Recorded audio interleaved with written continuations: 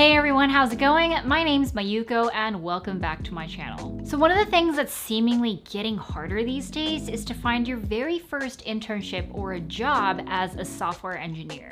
It's even more competitive than ever before to get into a computer science or software engineering program to begin with, and securing that first job feels like you have to like jump across this 3,000 foot cliff to get to the other side, which is employment. So when it comes to actually finding a job, it's a big feat and a pretty big deal. But it's hard to know what to do or even where to start in the first place. Where are you supposed to look even to find jobs? Do you look on LinkedIn or other job boards? Are you supposed to directly apply to jobs on their careers page? And while we're at it, what's your resume even supposed to look like? I actually made a video about this, you can check it out right there.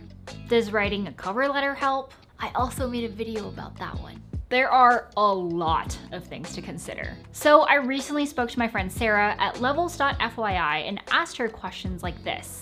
She's been a recruiter at multiple FANG companies, including Amazon, Facebook, and Google, and has helped people find jobs all over the tech industry. The real truth is that while the job search experience varies from person to person, in the tech industry, there is at least some sort of process that everyone seems to follow. And so there's at least a few things that you can do to make your life easier and set yourself up for success. And I think one thing to remember is that recruiters are really trying to find someone and find the right person for the job. That's probably easy to forget after you apply to your 200th job. They want to do as good of a job as they can. And they might also be needing to negotiate with a hiring manager who has their own priorities and goals. So all those factors, time, budgets, who else is involved in the process, influences where recruiters look for candidates. So knowing all this, where is the best place to put yourself as a candidate? Sarah breaks it down into three big chunks. Job sites, referrals, and events.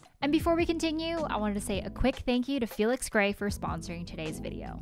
Yes, a lot of y'all ask about what glasses I wear, and these are Felix Gray's, and I love them. So, five years ago, Felix Gray realized that we're not meant to be looking at computer screens all day, and so they designed glasses to make daily screen time more comfortable. So, the lenses in these glasses actually filter 15 times more blue light, which is a thing that makes screen time really like tough on the eyes and makes sleep very disruptive. So the ones that I'm wearing are the Roebling in Amber Toffee and the low nose bridge fit style because your girl's Asian and she has a flat face. They offer classic styles that are made from acetate and are hand finished for a durable, lightweight, and very comfortable pair of glasses.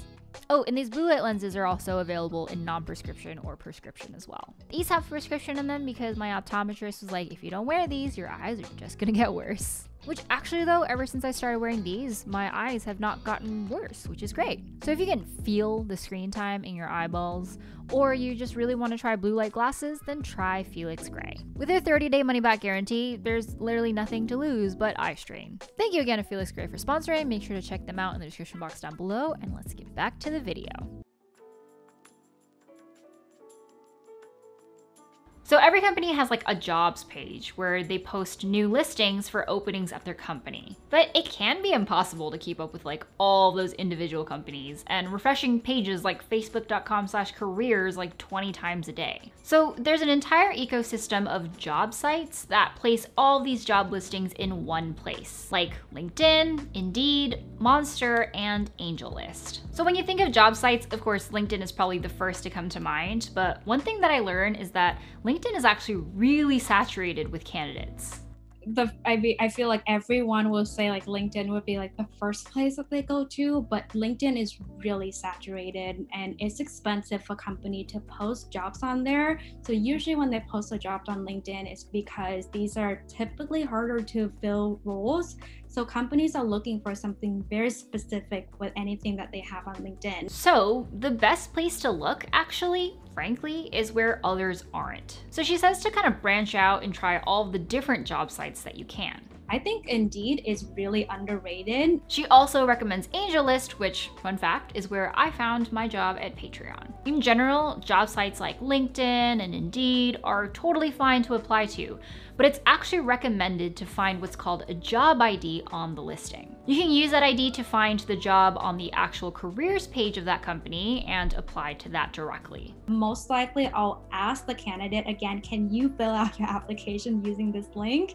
So, um, just to make things a little bit easier on the company and the recruiter, if you see it on LinkedIn, apply there, but go to the career site and then just do like the actual job application, anyways. This is mostly because the actual job listing on the company website will have the required questions that you need to fill out to apply to the company, versus aggregator sites and job sites won't have stuff like that. It just makes the recruiters' lives easier if you give them all the information they need on the first try. Sarah also says that because there's so many steps to the recruitment process, if like a recruiter quits or like they get reassigned to a different team or role or something, then your application can definitely fall through the cracks. And that does actually happen more than you think. So if you find a role that like really resonates with you, then go out and find the actual hiring manager for that job and reach out personally. That way, even if the recruiter gets reassigned, you've contacted the main person responsible for hiring for this role. What I like to do is I just go on LinkedIn, let's say if my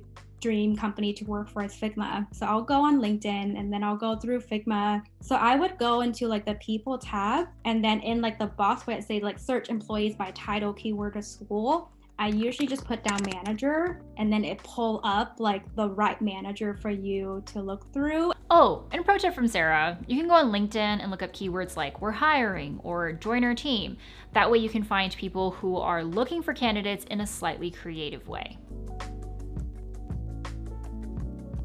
All right, so first up, What's a referral? It's when a friend, colleague, or acquaintance of some sort refers or recommends you to a job at their company. And usually when they refer you, they have to fill out a form. That form basically contains their connection to you and their endorsement of you. They'll talk about how they know you and explain why they think you're good at what you do, and also tell the company why you're right for the role. Most of the time, all these referrals get to kind of like skip the line as far as applications go because a lot of them have a goal to respond to these referrals in a timely manner. This doesn't mean that you'll automatically get an interview or whatever because it still has to get reviewed by the hiring manager. So yeah, referrals are just like more legitimate connections. And because of the process they go through, it's not even really like nepotism that fuels it. This is just another way for recruiters to find someone who might be right for the job by any means at their disposal uh, referral carry a lot of weight. So if you have someone who maybe work at Google and that's where you want to be, ask for a referral, but also make sure that you ask the right person to like if you've worked with that person in the past or like know that person really well. There were a handful of times where people got in trouble for referral fraud because they just submit someone because they want that like payout. So a lot of employees like became more aware of that so they tend to be a little bit more careful in terms of like who they refer so yeah referrals are basically like asking someone to stick out their neck for you so I wouldn't recommend going to like random people or people you only kind of know for a referral, especially if they just like don't know you and they've never seen your work. So, this is just another plus one to the advice that I always say of building strong and real connections with people instead of just like adding 500 connections on LinkedIn. So events might actually sound kind of weird on paper, like they might be really networking heavy or they're not actually productive. But they're really worth the time. And that's because recruiters and hiring managers put a lot of effort into putting on these events. Remember again, like they want to hire people, like that's their goal. So they create these events for people to go to. It's like a legitimate gathering. So if you're invited to one or you hear about one, then definitely go to them takes a lot of work to put an event together.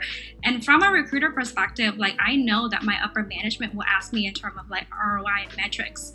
I can't just put together an event and there isn't a way for me to measure my ROI unless if I send candidates that take home assignment and then from there present, you know, like, oh, we put out this event and it costs us this much. And on top of that, we ended up getting X amount of candidates, and then here's our conversion rate. That would be like the best way for you to get noticed. So, really, it all boils down to being ready to present yourself, trying your best in whatever creative way possible to put yourself in front of the people who are hiring. Oh, and if I might add like one more piece of advice for this journey, don't be too concerned if like things don't take off immediately. A lot of this stuff, like applying to jobs, interviewing, finding the right role for you, takes time. Anyone will tell you that like good talent gets found one way or another. So if you're in the thick of it right now, applying for jobs, trust me, it will work out. P.S. What about those like recruiting agencies that people talk about? Are they useful? Should I talk to them? Are they good at getting jobs? If you're interested in finding out the answer to that question, then I've created it as bonus content for my members on YouTube. You can get access by becoming a member for as low as 99 cents a month by clicking the join button down below. Thank you again, Sarah from Levels.fyi for answering all of my questions about the recruiting process. I'll leave her link and any other things that I mentioned in the video today in the description box down below. Thank you so much to my YouTube members for supporting me and my work and these videos. Don't forget to subscribe and I'll see you all next time. Bye!